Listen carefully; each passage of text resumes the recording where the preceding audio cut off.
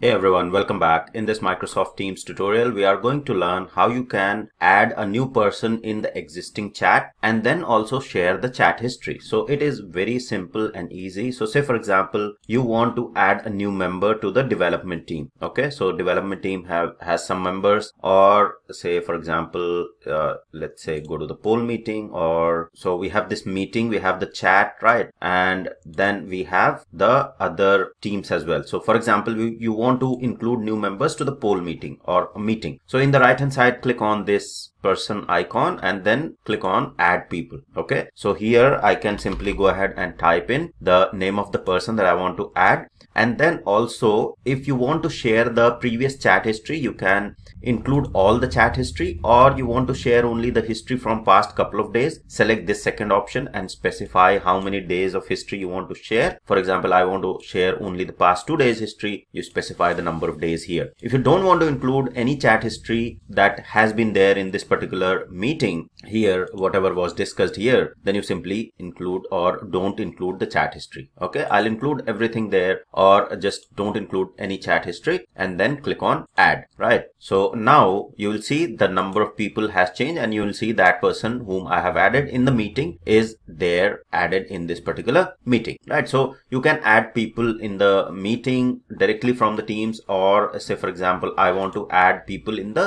group chat regression testing right? So this is the group that have been created. Now here i want to add a new person. So simply click on this person icon and then click on add people and then start typing in the name of the people that want to add right? So i have added them and this time let me include all the chat history. So i'll include all of the chat history click on add. And now this person who has been added will be part of this particular group and will be able to see all the previous chat history as well right? So you'll see that notification here who added this particular person to chat and share all chat history. So basically everyone who is part of this group now will be able to see that yes, new person has been added and all the chat history has been shared with that particular person. Okay. So this is briefly how you are going to add a new person to any group chat or to the meeting. Okay. Or you can go to the teams as well, right? So for example, in the teams and channels, you want to add a new person. So I can go to this sprinters team okay? And in the sprinters team i want to basically add a new member right? So simply click on these three ellipses here click on add member and then start typing in